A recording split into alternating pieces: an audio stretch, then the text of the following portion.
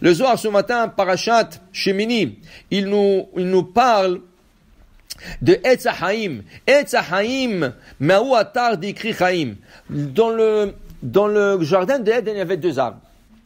Etzadaat, Etzahaim. L'arbre de la sagesse, la connaissance, bien et mal. L'arbre de la vie. Alors, il y avait deux arbres. Qu'est-ce qu'Hachem fait avec Adam? Il lui dit, tu manges pas de l'arbre de la sagesse. Mais il lui a pas dit de ne pas toucher à l'arbre de la vie. Il lui a pas dit ne touche pas à l'arbre de la vie. Pourquoi?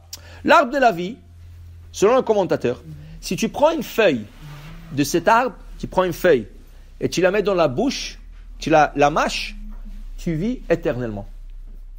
Maintenant, Adam n'avait pas besoin.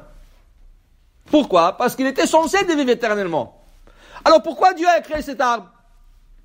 Si Adam est censé vivre, pourquoi il a créé cet arbre Et après la faute, qu'est-ce qu'il lui dit à Hachem Oh Sors, sors d'ici Il dit aux anges, sortez-les, bloquez l'accès pour qu'ils ne mangent pas de cet arbre maintenant.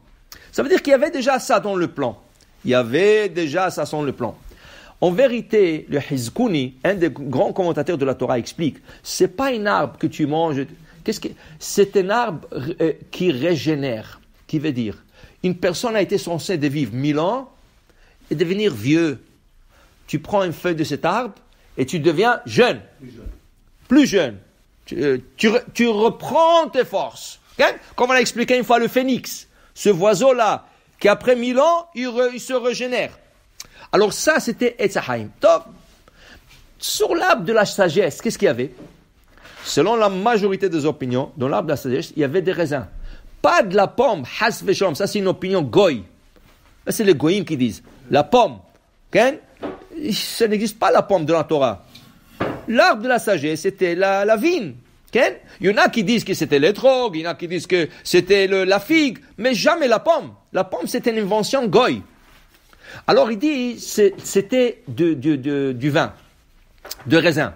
Et en vérité, Dieu ne voulait pas qu'il touche à cet arbre. Pourquoi? Parce qu'il voulait que juste avant Shabbat, il prend un des raisins, il le presse, et il fait du vin, et il fait le kiddush. Il lui manquait une heure. Adam a mangé le raisin, le vin que le Hava lui a donné, il a mangé une heure avant Shabbat. S'il aurait attendu une heure encore, il, serait, il, aurait vu éternellement. Malheureusement, c'était le Nahash qui a intervenu. Dit le, dit le, dit le, dit Zohar ce matin, il dit regarde, le Yahin, il y avait le serpent qui a intervenu. Le serpent représente les nations du monde. C'est pour ça que tu comprends qu'un goy ne peut pas toucher ton vin. Un non-juif ne peut pas toucher ton vin. Il touche ton vin, il impurifie. Il impurifie. Ça, on appelle ça Yahin Esser. Yahin Esser. Alors il dit ici, tout ce qui se passe en bas, c'est passé en haut. Tout ce qui se passe en bas, c'est passé en haut.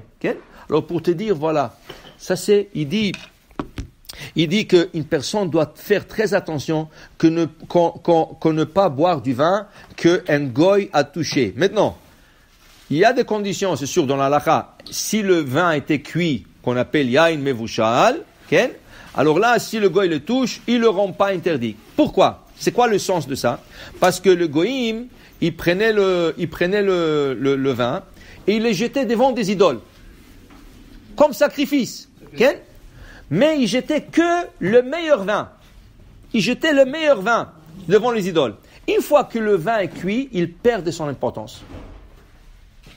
En France aujourd'hui, les compagnies juives qui fabriquent du vin ont besoin d'un un, un certificat spécial qui ont le droit de le faire, de cuire le vin. Pourquoi? Ça s'appelle tricher le consommateur tu enlèves la qualité du vin. Le meilleur vin, c'est ceux-là qui ne sont pas cuits. Alors, euh, euh, un goy ne prendra pas un vin vouchal et le jettera devant son idole. Pour lui, c'est n'est pas pas important, il le fera pas. C'est pour ça qu'il y a un chat. Le problème qu'il y a aujourd'hui, le vin il n'est pas cuit. Le vin est pasteurisé à 83 degrés. Cuit, ça veut dire qu'il est cuit à 100 degrés. C'est pour ça qu'Irav Yosef dit, même un vin mevouchal, a priori, ne laisse pas un goy le toucher. S'il a touché, mais ne laisse pas. Et si tu as la chance d'ouvrir ta bouteille à toi, ne laisse pas à l'ouvrir à lui. Même mevouchal. Parce qu'il n'est pas mevouchal, il est mefoustar. Mefoustar, ça veut dire pasteurisé. Il n'est pas cuit. Il n'est pas 100% cuit. Ok? Donc, tout ça, c'est des, représent- repon- euh, tout ça, c'est des représentations sur terre. Mais il dit, la, la, Rabbi il dit aujourd'hui, tout ce qui se passe ici en bas, כל mal de et tata, kula ken dugma de le'ela, kol yain de kai batarila, surtout le vin, qui se trouve dans une grande représentation dans le ciel. Regardez, le vin, quel bracha on aurait dû dire sur le vin, dit l'Agmara Ça c'est le premier, la première Mishnah dans le chapitre 6 de Brachot. La bracha sur le vin, la vraie bracha sur le vin, c'est Boré Peri Aetz.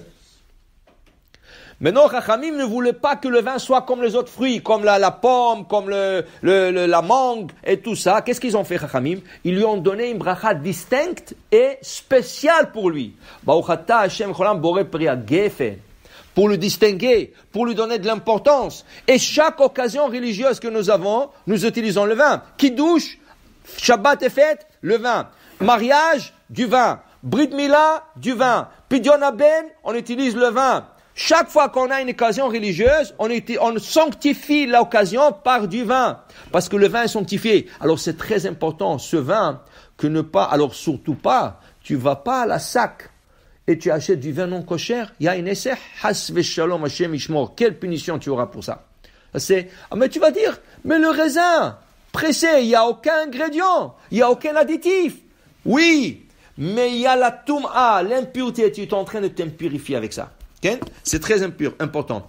J'ai vu une histoire une fois, il y avait un, à l'époque de la Deuxième Guerre mondiale, euh, il, il travaillait avec moi, euh, il travaillait. Ça veut dire il était, il travaillait dans le, le- le militaire de- des Allemands. Et un jour, ils avaient une grande, ils avaient une grande fête. Et lui, qui, qui a fait de grandes choses, il était un grand général d'armée, ils ont fait une fête pour lui. Alors, ils, ils ont invité beaucoup de généraux d'armée et tout ça. Mais lui, il gardait son judaïsme. Il gardait son judaïsme. Il voulait voulait pas se, mais il avait un bon contact avec son rabbi. Il avait un rabbi, toujours il Il dit, rabbi, regarde, ils vont faire une fête maintenant. Je sais pas comment, qu'est-ce qu'on faire. je dois- Il dit, je te, je te dis une chose. Je sais que tu manges non cochère. Je sais que tu fais beaucoup de choses, tu ne fais pas Shabbat. Mais une chose, tu, me, tu vas me promettre. Tu vas dans cette fête, ne bois pas du vin. Ne bois pas le vin. Il me dit, Rabbi, mais ne bois pas le vin. Dis-leur, tu as mal à la tête. Trouve une excuse, ne bois pas le vin. Donc, il est parti là-bas, mais toute la fête, c'est pour lui. Et tout le goïm avec des verres, ils font cheers, l'echaim et tout ça. Alors, ils lui ont donné un verre de vin, mais lui, il s'est rappelé, il, a, il a promis au rabbi. Qu'est-ce qu'il a fait? Il s'est mis à côté de la fenêtre. Il s'est mis à côté de la fenêtre, et quand il voyait que personne ne voit, qu'est-ce qu'il a fait? Il a jeté le vin comme ça. Il a jeté le vin dehors, il a laissé le verre vide, comme s'il a bu. Comme s'il a bu. Mais il y a quelqu'un qui l'a vu. Alors, celui qui l'a vu, un des généraux qui l'a vu, il dit, dis-moi, tu es juif, toi? Il dit, pourquoi tu dis ça? Il dit, pourquoi tu as jeté le vin? Pourquoi tu ne bois pas le vin? Qu'est-ce qu'il y a? C'est rien que des juifs, ils ne voient pas le vin en es- tu es juif? Il dit, non, arrête avec tes bêtises, toi, et tout ça. Ils se sont mis à disputer. Ça a chauffé. Alors lui, il a dit, je vais sortir prendre de l'air. Il est sorti, dès qu'il est sorti de la maison, il s'est enlevé, une bombe, ils ont attaqué cet endroit, ils ont envoyé une bombe, tous sont morts, lui il a été sauvé. Grâce à quoi? Grâce qu'il a écouté son rabbi de ne pas boire du vin non cochère. Voilà. Tellement c'est important, le vin, c'est pire que le, le manger non cochère. C'est pire. Ça se passe, c'est l'impureté, c'est la représentation dans- de, sur terre ici, ici, de tout ce qui se passe dans le ciel. Le'olam. Amen ve Amen.